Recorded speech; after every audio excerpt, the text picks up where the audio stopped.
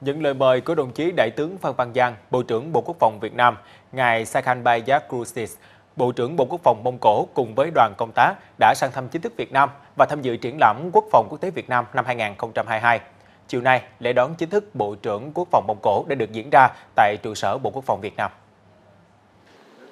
Chào mừng Bộ trưởng Saigon Bayagus và đoàn sang thăm chính thức Việt Nam, Đại tướng Phan Văn Giang khẳng định Việt Nam kiên trì chính sách đối ngoại độc lập, tự chủ, đa phương hóa, đa dạng hóa quan hệ quốc tế, ưu tiên cao cho việc phát triển quan hệ hữu nghị hợp tác với các nước bạn bè truyền thống, trong đó có Mông Cổ.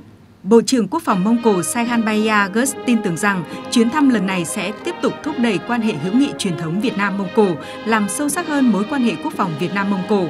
Mông Cổ luôn coi Việt Nam là một đối tác quan trọng trong khu vực, luôn biết ơn Việt Nam vì ủng hộ các sáng kiến của Mông Cổ trên các diễn đàn quốc tế.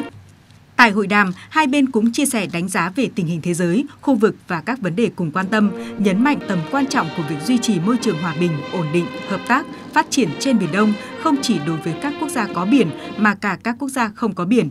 Về lĩnh vực hợp tác quốc phòng, trên cơ sở thỏa thuận giữa hai chính phủ Việt Nam Mông Cổ về hợp tác trong lĩnh vực quốc phòng được ký kết vào năm 2019, hai bên đã phối hợp triển khai hiệu quả các nội dung hợp tác, tập trung trao đổi đoàn, giao lưu, tiếp xúc các cấp, nhất là đoàn cấp cao, đào tạo, cử cán bộ tham gia các hội nghị, hội thảo, hoạt động đa phương do Mông Cổ tổ chức.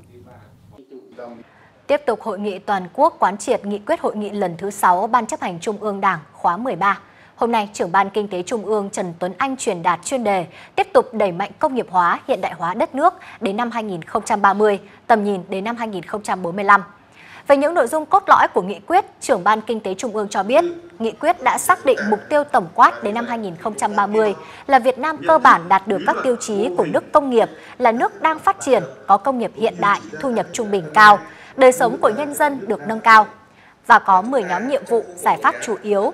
Một giải pháp quan trọng là cần hoàn thiện cơ chế, chính sách, thí điểm thực hiện các cơ chế phù hợp để tạo đột phá cho phát triển kết cấu hạ tầng, nhất là về đường bộ, đường sắt.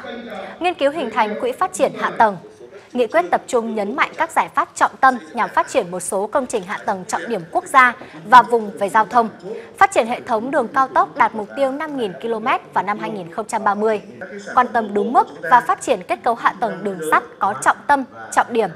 Nghị quyết cũng xác định cần tập trung thực hiện đồng bộ, quyết liệt chủ trương của Đảng về tiếp tục cơ cấu lại, đổi mới và nâng cao hiệu quả doanh nghiệp nhà nước, phát triển doanh nghiệp tư nhân, thu hút FDI, xây dựng và triển khai định hướng phát triển một số tập đoàn kinh tế, doanh nghiệp nhà nước, doanh nghiệp tư nhân trong nước có quy mô lớn, hoạt động hiệu quả, có năng lực cạnh tranh quốc tế, đóng vai trò dẫn dắt, trụ cột trong một số lĩnh vực quan trọng của quá trình công nghiệp hóa, hiện đại hóa như năng lượng, công nghiệp chế biến, chế tạo, tài chính ngân hàng, nông nghiệp, viễn thông, kết cấu hạ tầng nước ta trở thành nước đang phát triển. Chiều nay phát biểu chỉ đạo, kết luận hội nghị toàn quốc nghiên cứu quán triệt nghị quyết hội nghị lần thứ 6 khóa 13, Thường trực Ban Bí thư Võ Văn Thưởng nêu rõ các nghị quyết được Trung ương ban hành vừa qua rất hệ trọng, đã nhấn mạnh yêu cầu đẩy mạnh phân cấp, phân quyền, làm rõ hơn nữa chức năng, nhiệm vụ, quyền hạn của tổ chức cá nhân trong bộ máy nhà nước và khẳng định quyết tâm xây dựng đội ngũ cán bộ đủ phẩm chất, năng lực uy tín, ngang tầm nhiệm vụ, đề cao tinh thần năng động, sáng tạo, dám nghĩ, dám làm vì lợi ích chung. Chuyển sang một thông tin khác. Thưa quý vị, doanh thu toàn ngành công nghiệp công nghệ số Việt Nam ước đạt hơn 148 tỷ đô la Mỹ, với 70.000 doanh nghiệp đã đăng ký thành lập và hoạt động, vượt thời hạn 3 năm so với mục tiêu của năm 2025. Thông tin được đưa ra tại buổi họp báo Diễn đàn Quốc gia về phát triển doanh nghiệp công nghệ số Việt Nam lần thứ tư năm 2022 do Bộ Thông tin và Truyền thông tổ chức chiều nay tại Hà Nội. Tại buổi họp báo công bố sự kiện chiều 6 tháng 12, đại diện Bộ Thông tin và Truyền thông chia sẻ, doanh thu toàn ngành công nghiệp công nghệ số Việt Nam ước đạt hơn 148 tỷ đô la Mỹ, với 70.000 doanh nghiệp đã đăng ký thành lập và hoạt động, vượt thời hạn 3 năm so với mục tiêu của năm 2025. Hiện, việc mở rộng hoạt động kinh doanh ra nước ngoài đang là định hướng của nhiều doanh nghiệp công nghệ số Việt Nam. Các doanh nghiệp đang vươn ra thị trường nước ngoài rất mạnh mẽ cả về quy mô hiện diện và tốc độ tăng trưởng. Do vậy, nhà nước cần có chủ trương, định hướng và giải pháp phù hợp để thúc đẩy phát triển các doanh nghiệp công nghệ số trong nước liên kết với nhau, hợp tác với nhau nhằm hình thành hệ sinh thái khai phá thị trường nước ngoài. Diễn đàn năm nay dự kiến thu hút khoảng 1.000 đại biểu gồm lãnh đạo chính phủ, lãnh đạo các bộ, ngành, địa phương và đặc biệt là hàng trăm chuyên gia, doanh nghiệp công nghệ uy tín trong và ngoài nước, cũng như các doanh nghiệp khởi nghiệp sáng tạo trong lĩnh vực công nghệ tại Việt Nam. Cũng tại diễn đàn sẽ diễn ra lễ công bố và trao giải thưởng sản phẩm công nghệ số Make in Việt Nam năm 2022.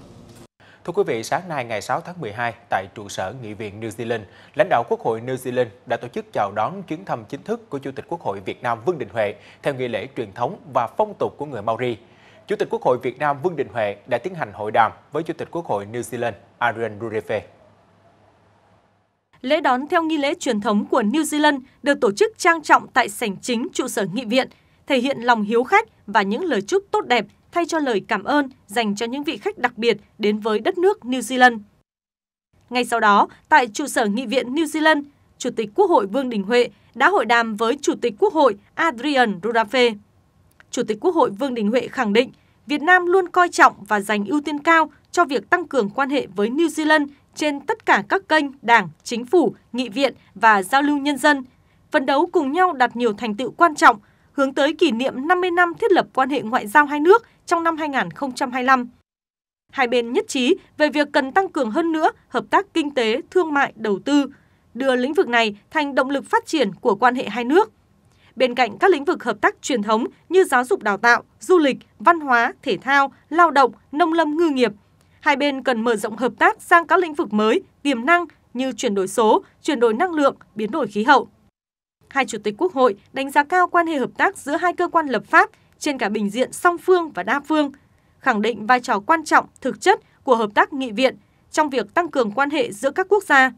Hai bên nhất trí nghiên cứu xây dựng một thỏa thuận hợp tác giữa hai quốc hội nhằm tạo khung pháp lý để hai bên thúc đẩy và làm sâu sắc hơn quan hệ hợp tác trong thời gian tới.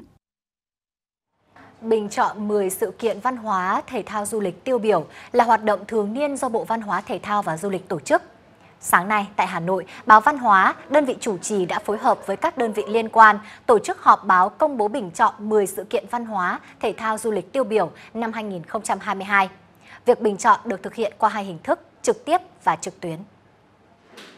Đã có 55 đơn vị với 111 sự kiện của các lĩnh vực văn hóa, thể thao, du lịch, gia đình được đề cử. Trên cơ sở đề cử từ các đơn vị, 15 sự kiện tiêu biểu nhất đã được tổ chức hoạt động bình chọn, lựa chọn ra 10 sự kiện tiêu biểu nhất trong năm 2022, gồm 1. Triển khai thực hiện kết luận của Tổng Bí thư Nguyễn Phú Trọng tại Hội nghị Văn hóa Toàn quốc năm 2021. 2. Quốc hội thông qua luật điện ảnh sửa đổi năm 2022. 3. Đàm phán thành công việc hồi hương ấn vàng Hoàng đế Chi Bảo. 4. Nghệ thuật làm gốm của người Chăm được UNESCO ghi danh vào danh sách di sản văn hóa phi vật thể cần được bảo vệ khẩn cấp.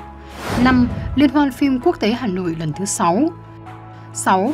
Hoạt động văn hóa thể thao du lịch kỷ niệm năm đoàn kết hữu nghị Việt Nam Lào. 7.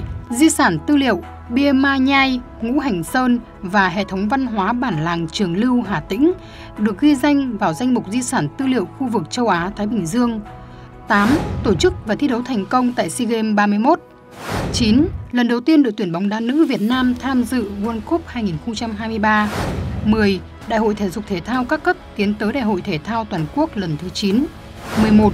Đoàn thể thao người khuyết tật Việt Nam thi đấu vượt chỉ tiêu tại ASEAN Paragames 2022. 12. Việt Nam mở cửa hoàn toàn du lịch từ ngày 15 tháng 3 năm 2022. 13. Du lịch nội địa phục hồi mạnh mẽ, đạt 110 triệu lượt khách năm 2022. 14. Quảng bá xúc tiến du lịch qua lễ hội du lịch văn hóa Việt Nam tại Hàn Quốc. Và 15.